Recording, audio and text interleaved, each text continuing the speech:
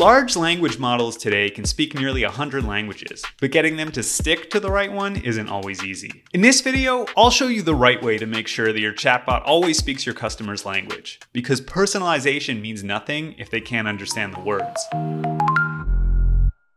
So here I am in the BotPress studio, and I just have this simple bot that's for a made up restaurant called Aurora Tasting Room. It's a high end Nordic dining restaurant. Now, this bot, like I said, incredibly simple. It's just a single autonomous node with some detailed instructions and access to a knowledge base that has some more information, you know, stuff like FAQs. Intuitively, you might just want to leave the instructions as is and let the model decide when to speak in which language. And generally speaking, that will work, but sometimes it doesn't. Let me show you. I address it in German. And you see, this answers me in English. That could be because I have hard coded messages in there, and it could be really hard to keep up with which messages are hard coded and which ones you want the model to come up with by itself. And then on top of that, to have to indicate which ones it should translate can be a whole mess. So I'm going to show you the best way to ensure that this chatbot addresses your customers in the language that they speak to it in. So what we're going to do is insert a standard node before our autonomous node and give it an AI task.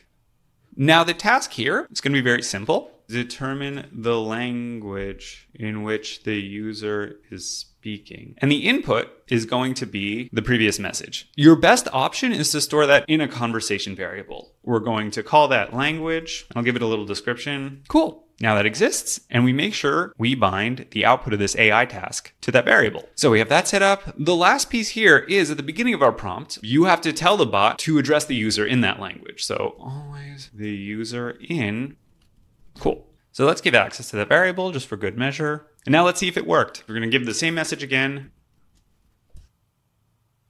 And there you go, and answered us in German. So it's as easy as that. Thanks for watching. If you have any questions, reach out in the comments. And if you want a list of languages supported by GPT models, I left a link to an article in the description. Also, make sure to check out our Discord community, link down below. And while you're here, how about checking out this video on building a no-code customer support chatbot? Peace.